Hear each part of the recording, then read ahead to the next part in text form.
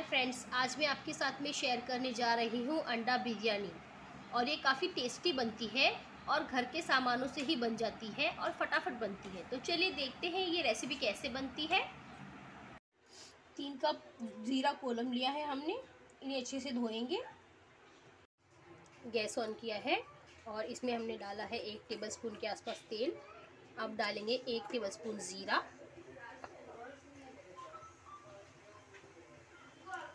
और अब हम इसमें डालेंगे ये जो हमने आपको चावल दिखाए थे, ये चावल इसमें डाल देंगे।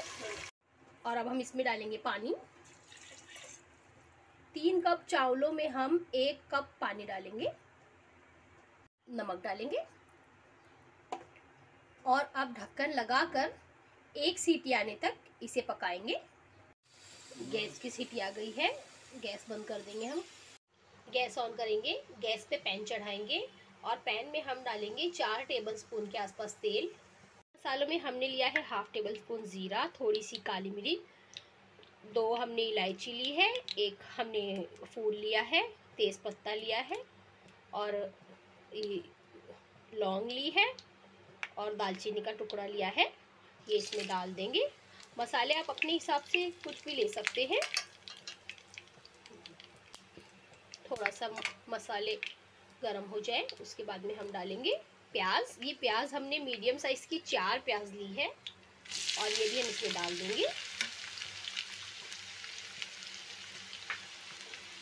और हिलाएँगे प्याज हमारे फ्राई हो चुके हैं और अब हम इसमें डालेंगे दो मीडियम साइज़ के आलू। आलू को हमने बारीक टुकड़ों में काटा है और इसे प्याज के साथ में अच्छे से फ्राई करेंगे।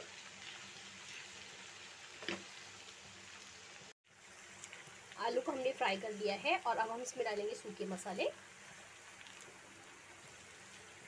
सूखे सूखे मसालों में हमने लिया है एक टीस्पून हल्दी, नमक स्वाद के अनुसार लिया है, एक टीस्पून गरम मसाला, एक टेबलस्पून हमने धनिया पाउडर लिया है और एक टेबल, टेबलस्पून ही हमने लाल मिर्च पाउडर ली है। ये जाएगा मसाले। ये सारे मसाले इसमें जाएँगे। एक दो सेकंड पकाएँगे। और अब हम इसमें डालेंगे अदरक लहसन का पेस्ट।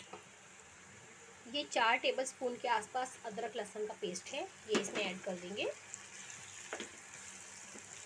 और इसमें डालेंगे हम टमाटर। ये एक बड़े साइज़ का टमाटर हमने लिया है, इसे बारीक चॉप किया है, ये डालेंगे इसमें और इसे अच्छे से भूनेंगे। देखिए फ्रेंड्स हमारा मसाला अच्छे से भून चुका है और हमारे टमाटर भी सॉफ्ट हो चुके हैं।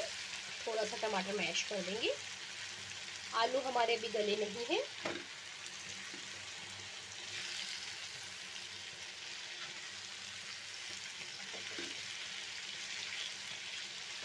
और अब हम इसमें डालेंगे चार अंडे। देखिए फ्रेंड्स, अब इसे बीच बीच में थोड़ा गैप करेंगे और अब हम इसमें डालेंगे अंडे। ये हमने चार अंडे लिए हैं। ये डालेंगे इसमें। आप चाहे तो ज़्यादा भी ले सकते हैं और आप चाहे तो कम भी ले सकते हैं।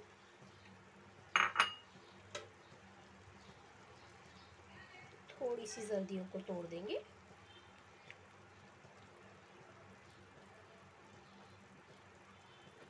और अब हम इसमें डालेंगे हरा धनिया। ये हमने इसमें हरा धनिया डाल दिया है। और अब ढक्कन लगाकर पाँच से सात मिनट तक इसे स्लो फ्लेम पर पकाएँगे। ये देखिए फ्रेंड्स हमारे अंडे का मसाला बनकर रेडी हो चुका है और हमारे अंडे भी सॉफ्ट हो चुके हैं। ये देखिए आराम से। अब गैस को कर देंगे बंद और इसकी तही लगाएँगे। चावलों को आधे आधे कर लिया है। आधे हमने कुकर में ही छोड़ दिए हैं और आधे चावल हम बा, हमने बाहर निकाल लिया है प्लेट में और अब ये जो आधे चावल है, इसमें हम डालेंगे हमारे अंडे का मसाला। ये देखिए फ्रेंड्स काफ़ी अच्छा बना है। देखने में ही काफ़ी टेस्टी लग रहा है। और अब थोड़ा थोड़ा उठाएँगे और चावलों पे रखते जाएँगे।